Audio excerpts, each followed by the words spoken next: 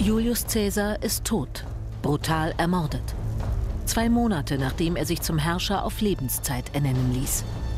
Er hinterlässt ein Reich, das sich über den gesamten Mittelmeerraum erstreckt.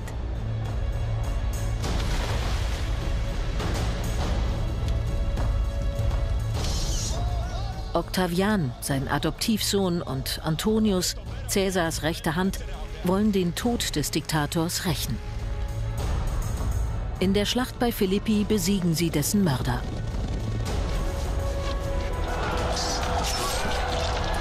Sie teilen das Reich unter sich auf. Octavian fallen der westliche Mittelmeerraum und die Innenpolitik Roms zu. Antonius übernimmt den wohlhabenden Osten. Seine Vision, neue Territorien erobern. Taktischer Ausgangspunkt Ägypten.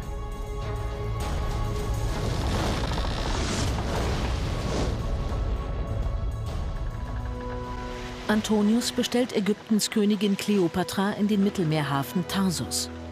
Er glaubt, sie habe mit Cäsars Mördern paktiert. Platz da, Platz da, Platz da. Doch die mächtigste Herrscherin des Ostens weigert sich, wie eine Angeklagte aufzutreten. Sie lädt Antonius ein, an Bord ihrer königlichen Galeere zu speisen auf ihrem Territorium.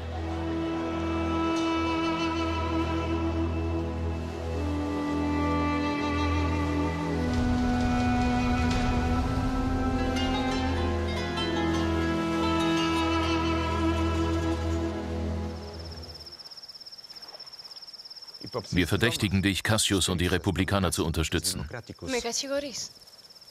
Du wirfst mir also vor, den Schmerz derjenigen, die Cäsar gerecht haben, nicht zu teilen?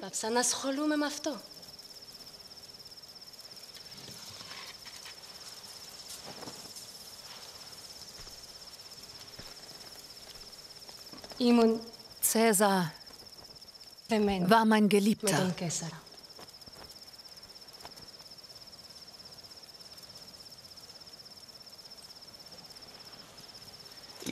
Warum ist die von dir versprochene militärische Unterstützung nie bei uns angelangt?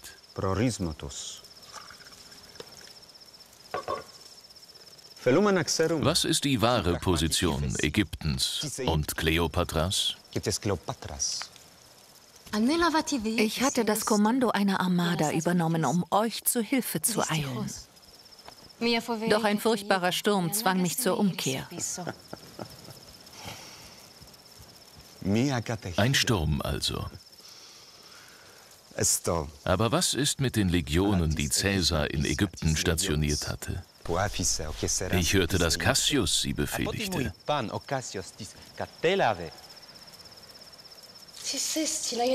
Ich schickte sie zu deinem General.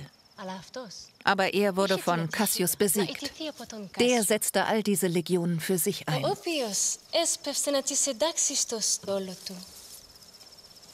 Zweimal hat Cassius mich angegriffen, doch ich fürchtete ihn nicht, trotz seiner großen Macht im Osten.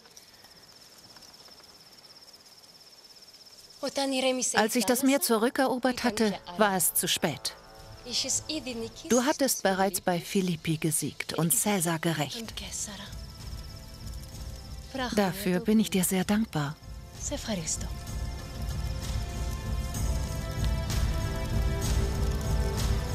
Antonius spürt, dass diese Begegnung sein Schicksal bestimmen wird. Er folgt Kleopatra nach Ägypten.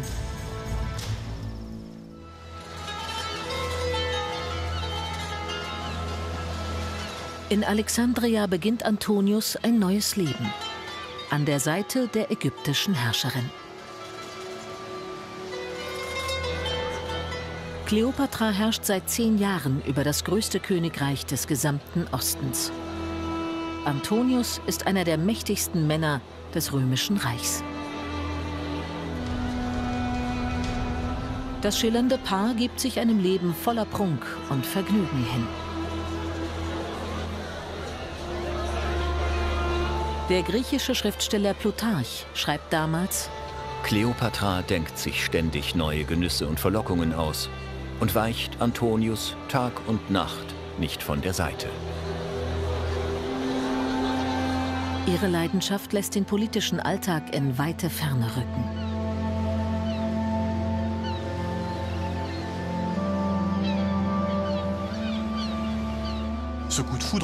Diese Liebe zwischen Antonius und Kleopatra sorgt für viele Diskussionen. Die antiken Geschichtsschreiber sind der Meinung, Kleopatra habe Antonius verhext und ihn zu ihrer Marionette gemacht.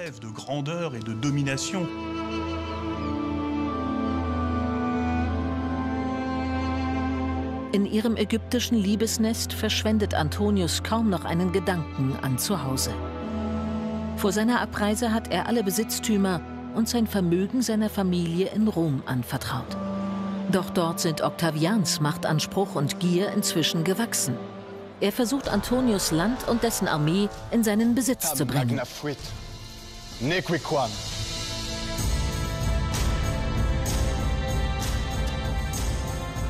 Nach einem Jahr in Alexandria ist Antonius alarmiert. Er will Rom zurückgewinnen. Mit einer Flotte von 200 Schiffen reist er zurück.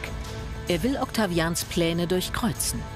Antonius ist für seine militärischen Erfolge berühmt.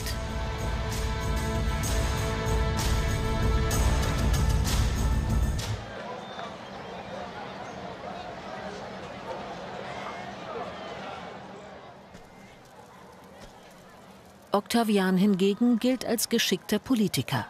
Er versucht, Konflikte zu vermeiden und macht Antonius ein Friedensangebot. Die Zusammenführung ihrer beider Familien.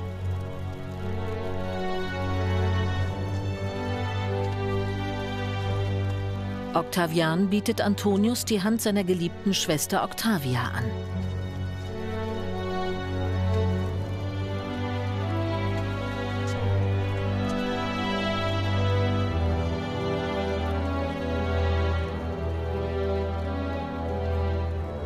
Antonius folgt der politischen Vernunft, um ein Blutvergießen zu vermeiden.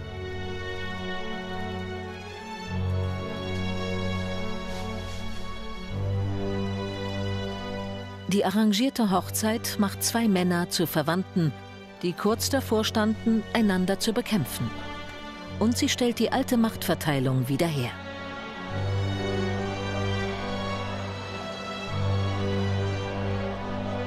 Nach jahrzehntelangen Bürgerkriegen kann die römische Bevölkerung aufatmen. Jedenfalls für einen Moment. Antonius nimmt Octavia zur Frau, obwohl er Kleopatra liebt. Beide Männer verbinden bald auch gemeinsame Pläne. Octavian soll im Westen des Reiches die Rebellion von Sextus Pompeius niederschlagen, der mit einer Piratenflotte die Getreideversorgung Italiens blockiert.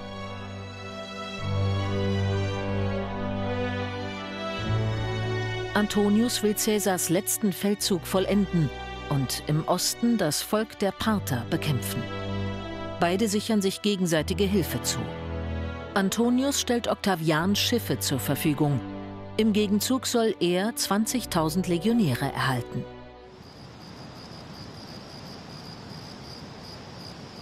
Die Beziehung mit Octavia hält nur drei Jahre.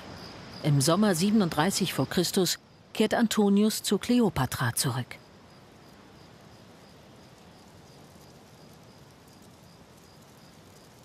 Das genussvolle Leben in Ägypten bringt Antonius jedoch in einen Konflikt.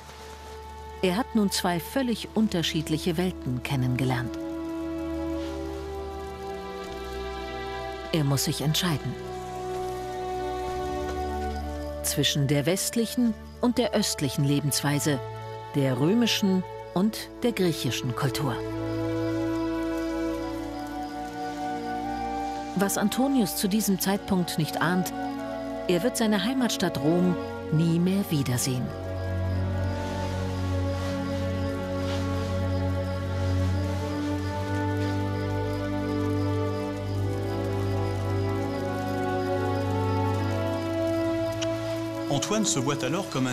Antonius fühlt sich als neuer Alexander, der Persien, also den Osten, besiegt hatte. Neben dem Handel mit Ägypten sieht er auch seine Liebesbeziehung zu Kleopatra als Argument, um die gesamten Völker des hellenistischen Ostens für sich zu gewinnen.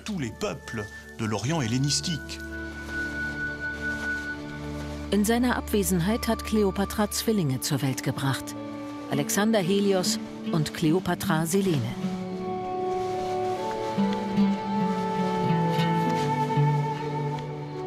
Gemeinsam gründet das Paar den sogenannten Club der unnachahmlichen Lebenskünstler. Der elitäre Kreis schwelgt in Luxus und Exzess.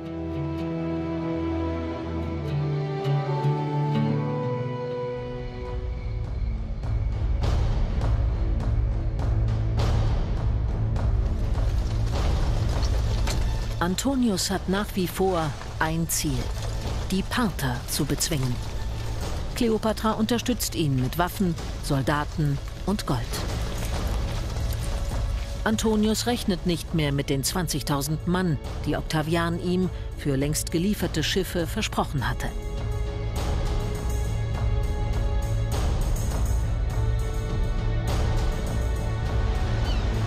Octavian hat neue Ziele. Es ist unsere Aufgabe, Rom vom Hunger zu befreien. Nur der Sieg kann Überfluss bringen. Zeigen wir dem Feind, dass es ihn teuer zu stehen kommt, wenn er sich der Macht Roms widersetzt. Octavian kämpft gegen Sextus Pompeius, der von Sizilien aus Widerstand leistet und mit seiner Piratenflotte Italien aushungert. Getreide ist knapp. Für die leeren Mägen der Römer. Soldaten! Vorwärts! Octavian will mit einem Sieg Antonius militärische Erfolge in den Schatten stellen. Feldherr Marcus Agrippa steht ihm zur Seite. Soldaten Roms, Matrosen, wir sind bereit, Sextus und seiner Piratenflotte gegenüberzutreten.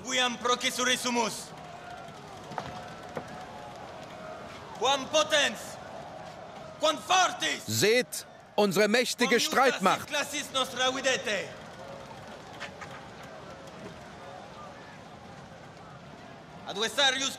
Der Feind unterschätzt uns. Er macht sich über unsere Seefahrerei lustig. Denn er weiß weder, wie gut wir auf diesen Kampf vorbereitet, noch wie scharf unsere Schwerter sind. Zum ewigen Ruhm Cäsars!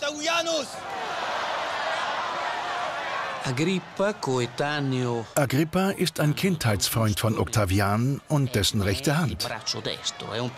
Obwohl von bescheidener Herkunft hat er militärisches Geschick und enormes Organisationstalent. Agrippa hat seit 38 vor Christus für Octavian eine Flotte aufgebaut und einen Hafen geschaffen, in dem er zwei Seen in Kampanien zusammenlegte. Auch ein Trainingslager für die Soldaten hat er errichtet. Hinzu kommt noch seine geniale Erfindung, die Wunderwaffe Harpax. Die Harpax ist ein mehr als zwei Meter langes Holzstück mit aufgesetzter eiserner Harpune. Sie wird durch Seile mit einem Katapult verbunden und auf feindliche Flotten abgeschossen.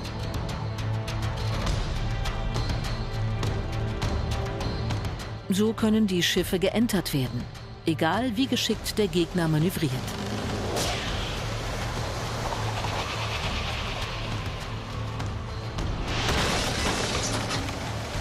Es kommt zum Kampf vor Sizilien.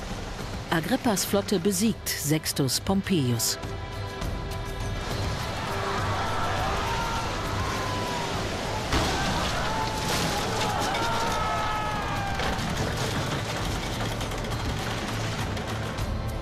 Octavian profitiert zweifach. Seine Macht im Westen ist wiederhergestellt. Die Kosten für Getreide sinken auf ein Drittel. Antonius hingegen ist für seinen Krieg gegen die Parther weniger gut gerüstet. Seine Soldaten haben gegen die Feinde kaum eine Chance. Er wird mehrfach geschlagen und verliert einen großen Teil seiner Armee.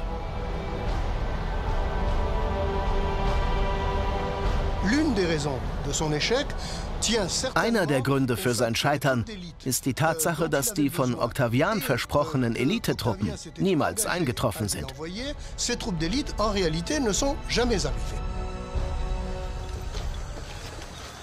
Antonius römische Ehefrau Octavia will ihrem Mann helfen und wendet sich an ihren Bruder Octavian.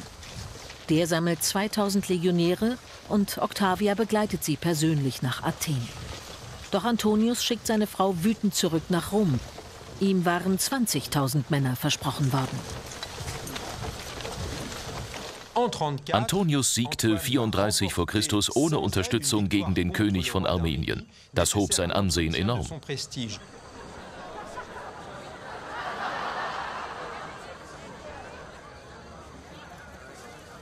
In Alexandria inszeniert Antonius eine Siegesfeier. Er macht seine und Kleopatras Kinder zu den Erben der Ostgebiete. Octavian wütet. Er hätte seinen Triumph in Rom feiern müssen.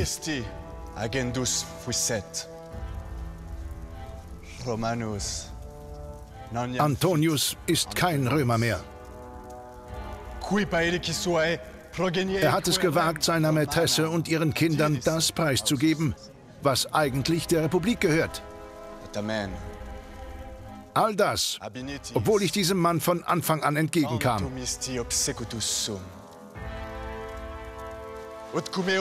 Ich habe ihm meine eigene Schwester zur Frau gegeben, einen Teil unseres Herrschaftsgebiets anvertraut und ihm meine Legionen zur Verfügung gestellt.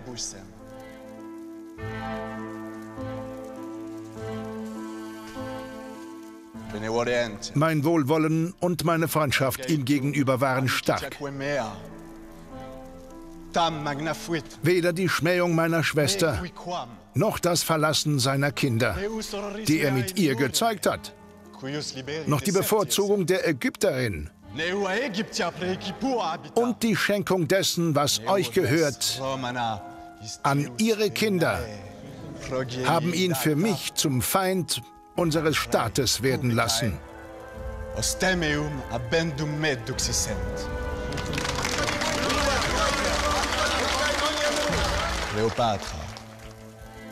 Kleopatra, die fremde Ägypterin, gilt aufgrund ihrer Taten ab sofort als Feindin des römischen Volkes. Antonio Antonius ist von dieser Frau verhext worden. Er ist als Sklave dieser Frau weit davon entfernt, unsere Freundlichkeit und unser Mitgefühl zu schätzen.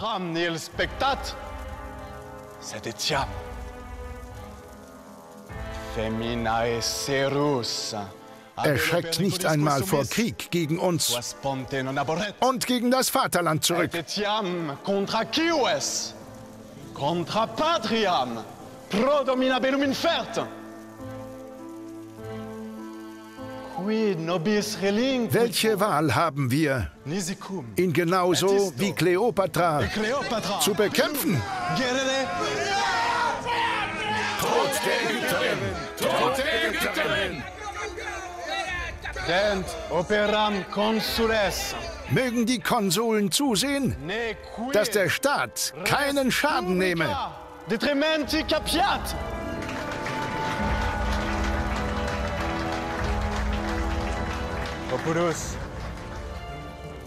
Das römische Volk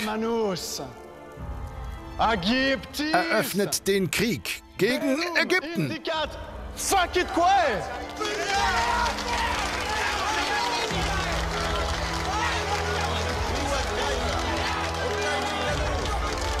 Octavian erhebt sich zum Verteidiger Roms.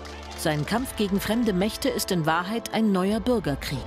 Rom gegen Ägypten oder vielmehr Octavian gegen Antonius.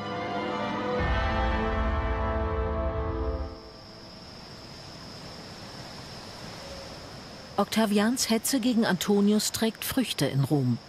Das Volk hält einen Krieg inzwischen für unausweichlich. Falls Ägypten sich von Rom trennen sollte, ist Italiens Getreideversorgung erneut in Gefahr. Schlimmer als durch die Blockade von Sextus Pompeius. Octavians Vertrauen in die Schifffahrt ist seit dem Sieg über Sextus Pompeius gestärkt. So baut er seine Flotte aus. Sein Freund Agrippa entwickelt die Strategien zur Seeschlacht. Die Kriegsfinanzierung übernimmt ein weiterer Freund, Gaius Mäzenas.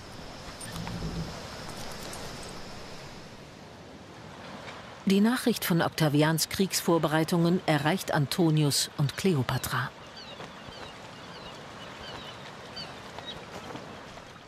Wir müssen Ägypten vor Octavians Machtgier schützen. Der Krieg darf hier nicht stattfinden.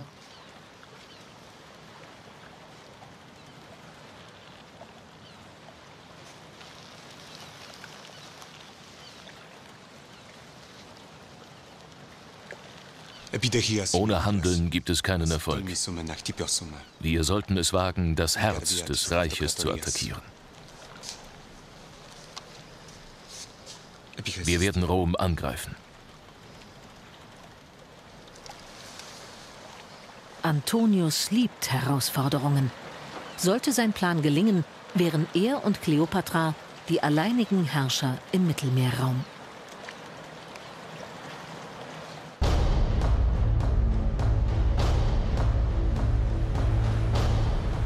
Antonius und Kleopatra vereinen ihre Flotten zu einer gewaltigen Seestreitmacht.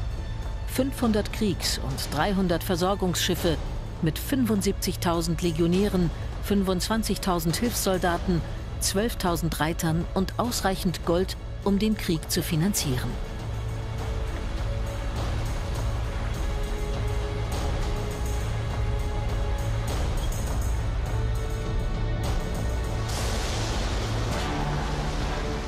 Schwere Stürme machen jedoch den Angriffsplan zunichte. Antonius dirigiert die Schiffe in die Bucht von Actium. Dort soll seine Armee überwintern. Das Gewässer hat einen Hafen und ist über eine Meerenge mit der offenen See verbunden.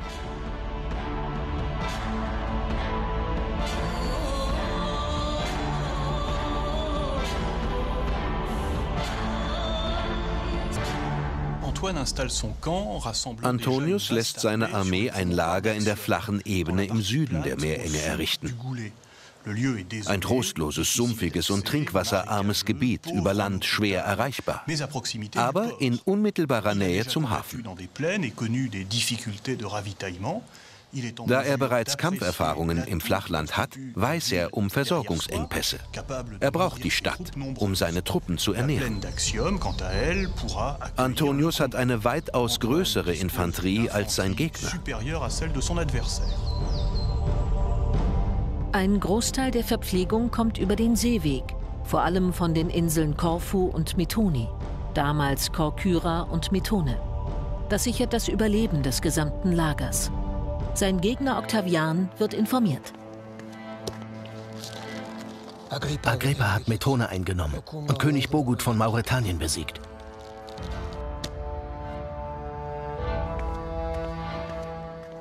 Antonius hat einen lebenswichtigen Zugang und einen seiner wichtigsten Verbündeten verloren. Die Götter sind auf unserer Seite. Es ist Zeit, zum Angriff überzugehen. Octavian eilt Agrippa zur Hilfe. Er segelt nördlich nach Panormos und Korkyra. Gemeinsam wollen sie den Gegner in die Zange nehmen. Sein Freund Agrippa blockiert von Methone aus Antonius und Kleopatras Versorgungsschiffe.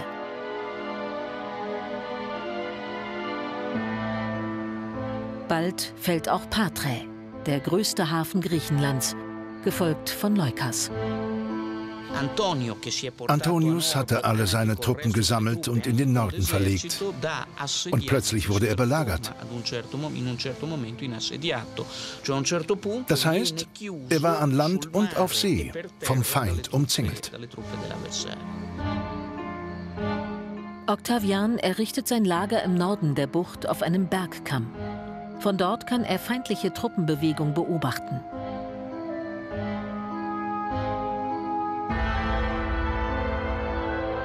Antonius hingegen hält seine Stellung in Actium.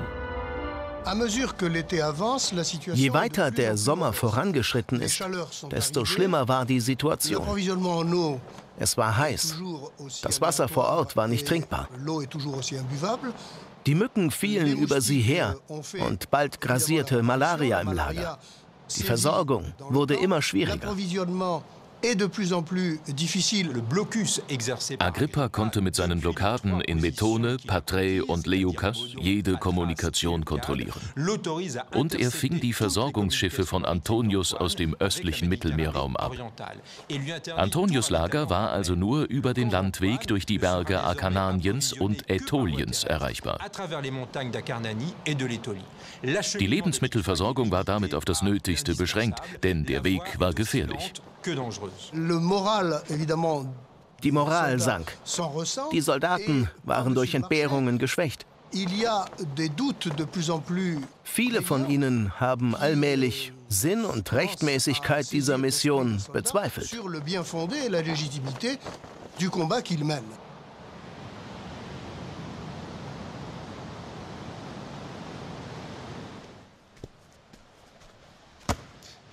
General, wir haben eine Gruppe Männer gefasst, die zu Octavian überlaufen wollten.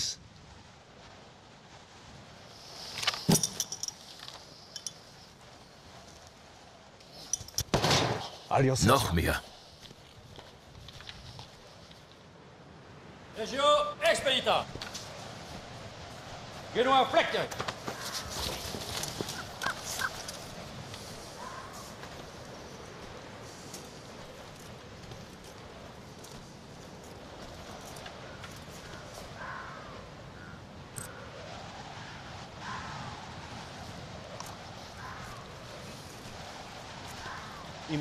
Im Krieg gibt es nur ein Urteil für Verräter.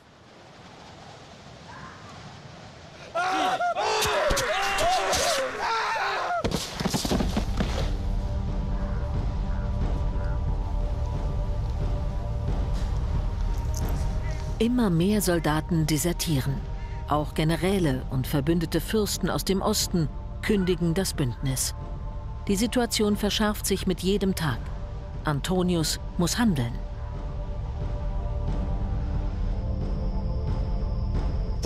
Ein an Land ausgetragener Kampf in Makedonien wäre sicherer.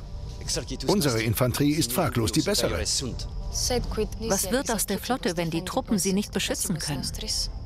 Sollen wir sie dem Feind überlassen?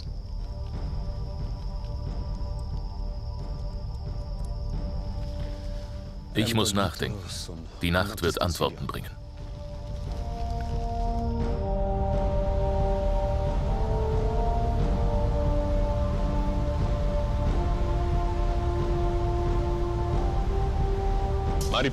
Ich möchte den Kampf auf dem Meer führen, wo unsere Überlegenheit liegt und wo die immense Zahl an Schiffen uns den Vorteil sichert.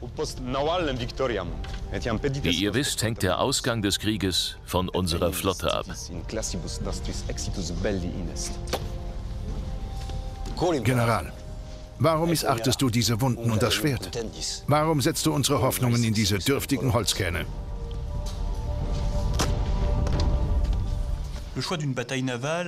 Seine Entscheidung zur Seeschlacht ist häufig in Frage gestellt worden. Antonius glänzte an Land, doch der Kampf auf See zählte nicht zu seinen Stärken, vor allem nicht gegen den nautischen Strategen Agrippa. Laut antiken Historikern sei der schlechte Einfluss Kleopatras schuld.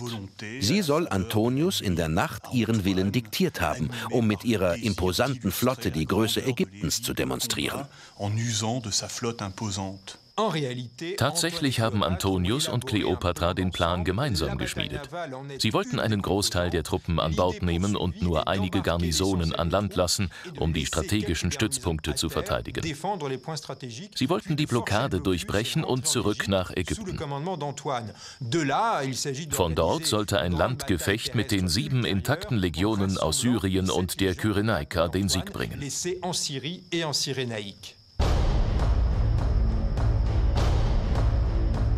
Antonius und Kleopatra planen, Agrippas Flotte abzulenken, damit Kleopatra mit der Kriegskasse fliehen kann. Antonius will mit dem Rest der Flotte zu ihr stoßen. Gemeinsam wollen sie über Südgriechenland nach Alexandria. An Land zurückgelassene Streitkräfte sollen sich zu Fuß in die Heimat durchschlagen.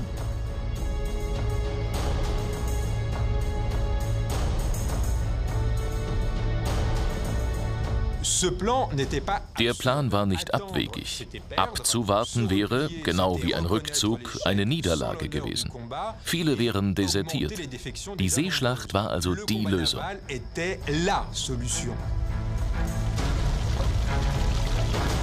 Antonius verkleinert die Flotte.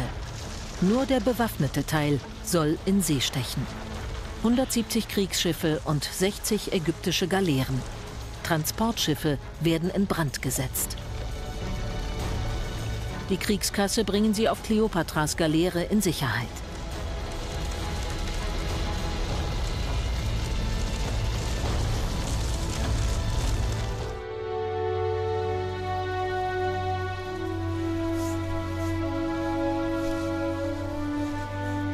Der Tag der Schlacht.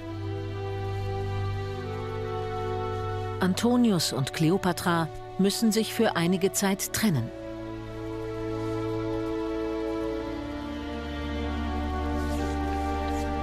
Nach 13 gemeinsamen Jahren ein kleiner Preis für ihren großen Traum. Ein gemeinsames, mächtiges Reich im Osten. Ihre Vision, den Mittelmeerraum für immer zu ändern und Octavian zu besiegen.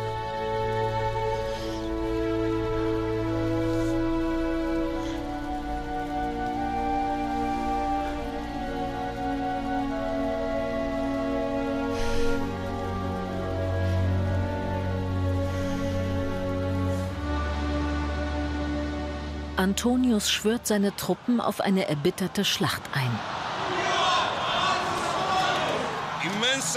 Soldaten, ihr seid unzählige und der Kern der römischen Wehrkraft, die Blüte der Bundesgenossen. Jeder von euch kämpft auf seine Weise. Ihr seid gut trainiert, sodass ihr jeden in Angst versetzen könnt. Ihr wisst, dass Octavian von schwachem Gemüt ist. Er hat niemals einen bedeutenden Sieg davongetragen, weder an Land noch auf dem Wasser. Der Sieg gebührt demjenigen, der am besten vorbereitet ist. Antonius kommandiert drei Geschwader des rechten Flügels und kommt Agrippa, dem gefährlichsten seiner Gegner, am nächsten. Auf der linken Seite steht sein Verbündeter Gaius Sosius, der Armada Octavians, gegenüber. Königin Kleopatra hält sich mit ihren 60 Schiffen im Hintergrund. Doch Octavians Flotte ist zahlenmäßig überlegen. Sogenannte Quinqueremen oder Hepteren, die antiken Ruderschiffe, waren schwimmende Bollwerke, ähnlich wie die an Land. Sie standen sich an der Frontlinie gegenüber, zum Klang der Trompeten. Ziel war, den Feind von der Seite anzugreifen und den Schiffskörper mit Hilfe des Rammspauns aufzubrechen und zu versenken. Oder den Feind zumindest zum Kentern zu bringen.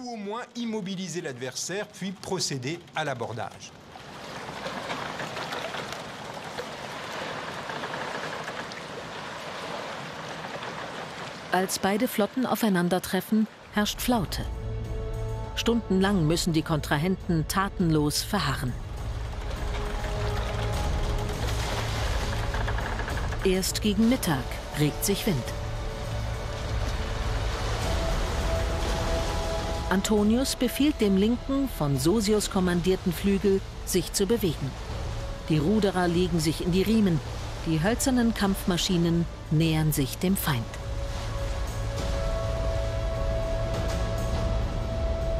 Octavians Flotte wird linker Hand von Sosius Schiffen zurückgedrängt.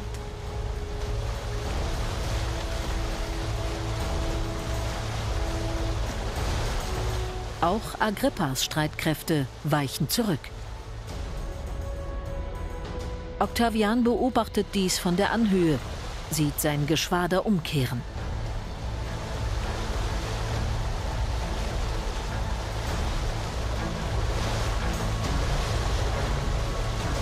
Antonius betrachtet das Manöver der Feinde als gutes Omen. Sogar Agrippa zieht sich zurück. Fürchtet er Antonius?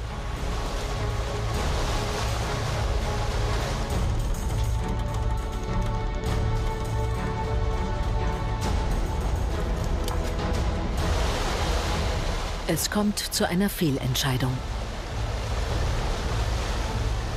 Entgegen der Flottenorder, eng zusammenzubleiben, verfolgt ein Kommandant von Antonius den fliehenden Agrippa.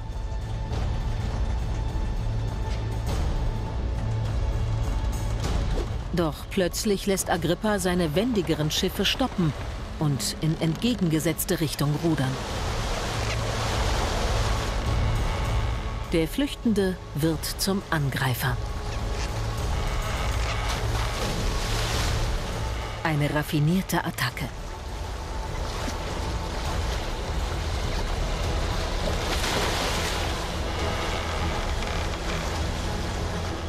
Der Zusammenstoß beider Flotten ist unvermeidbar.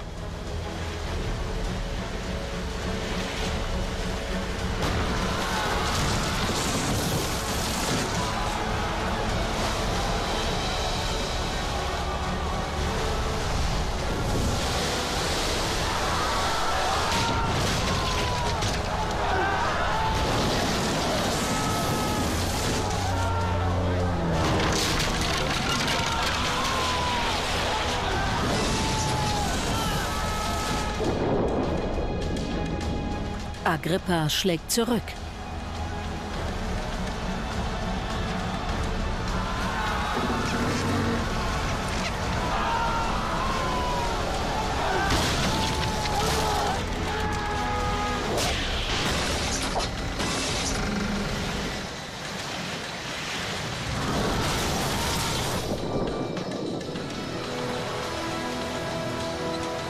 Agrippas Flucht ist eine Falle.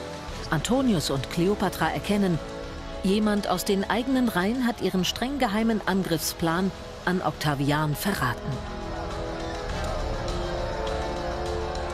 Ihre beiden Flotten haben nun keine Chance mehr.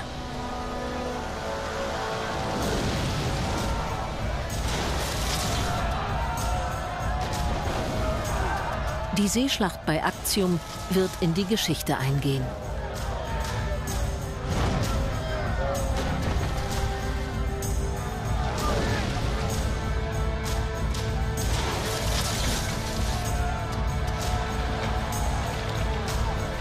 Aber Kleopatra bleibt gefasst. Sie verfolgt ihren ursprünglichen Plan weiter und durchbricht die Blockade.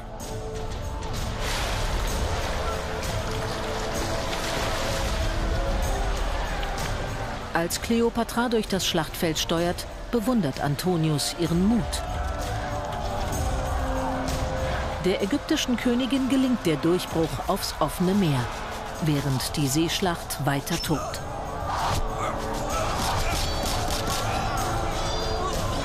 Antonius hält sich dicht hinter ihr, gibt den Schiffen in seiner Reichweite den Befehl, ihm zu folgen.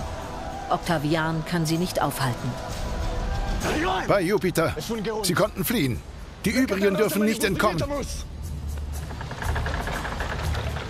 Mit Antonius und Kleopatra sind 120 Schiffe auf der Flucht. Octavians Triumph gerät in Gefahr.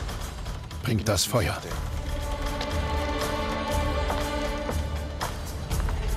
Er lässt seine Feinde nicht kampflos entkommen. In seiner Wut greift er zu einem letzten martialischen Mittel. Agrippa führt den Befehl aus. Bereiten wir der Sache ein Ende. Octavian befiehlt, die verbliebenen Schiffe des Gegners in Brand zu setzen.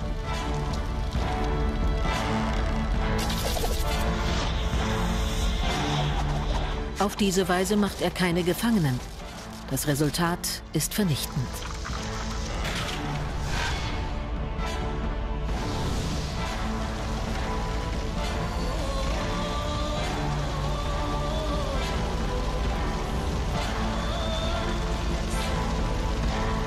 Vor Antonius Augen spielt sich eine Tragödie ab. Seine Schiffe gehen in Flammen auf und sinken. Antonius gibt sie auf. 40 Schiffe sinken oder verbrennen.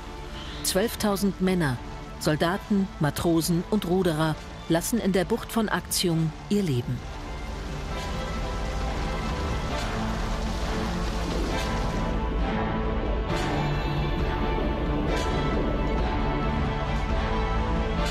Octavian siegt. Acht Tage später ergeben sich auch Antonius zurückgelassene Bodentruppen.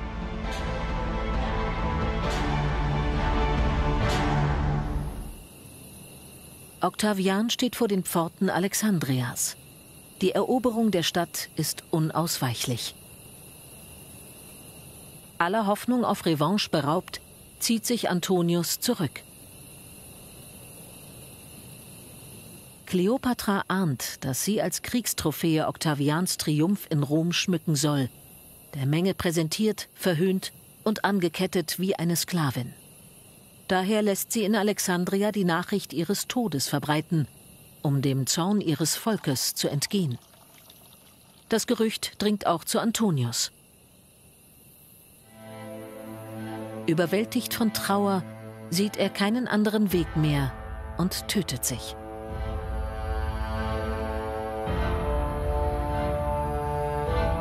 Ohne Kleopatra erscheint das Leben für ihn nicht mehr lebenswert.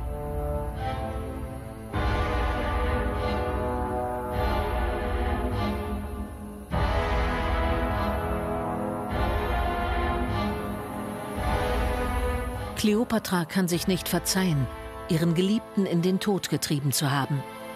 An Antonius Grab spricht sie bewegende Abschiedsworte. Gib mich, dein Weib, nicht lebend preis. Lass nicht geschehen, dass man über uns triumphiert, sondern begrabe mich bei dir. Denn von den tausend Leiden, die ich litt, ist keines so groß und hart wie die kurze Zeit, die ich ohne dich gelebt habe.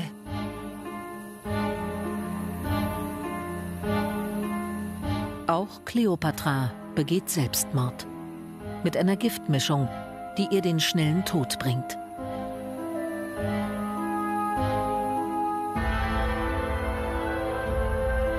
Octavian lässt Caesarion, den Sohn Julius Caesars und Kleopatras, töten – damit beseitigt er seinen letzten Rivalen.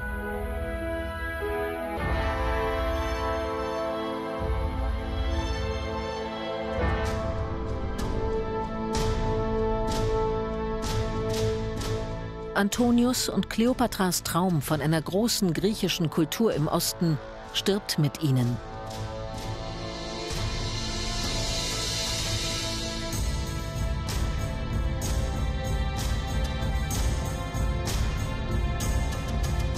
Der Mittelmeerraum wird auch dort römisch, wo er bei einem anderen Verlauf der Geschichte griechisch geprägt worden wäre.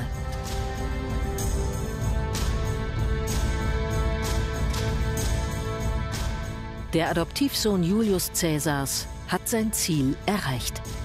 Im Jahr 27 v. Chr. wird Octavian zum ersten Kaiser namens Augustus. Er legt den Grundstein für das römische Reich.